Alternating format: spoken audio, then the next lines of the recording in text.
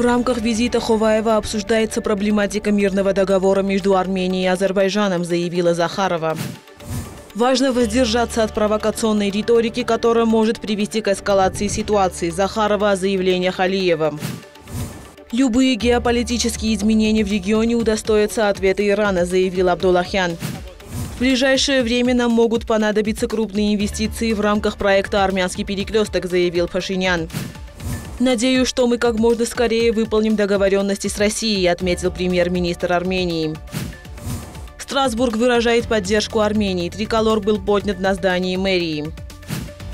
Конфликт между Россией и Украиной рано или поздно закончится за столом переговоров, заявил Чавушоглу. Есть определенные подвижки в создании зоны безопасности вокруг Запорожской АЭС, заявил Гросси. Несогласованные действия Турции угрожают прогрессу в борьбе с исламским государством, заявили в Пентагоне.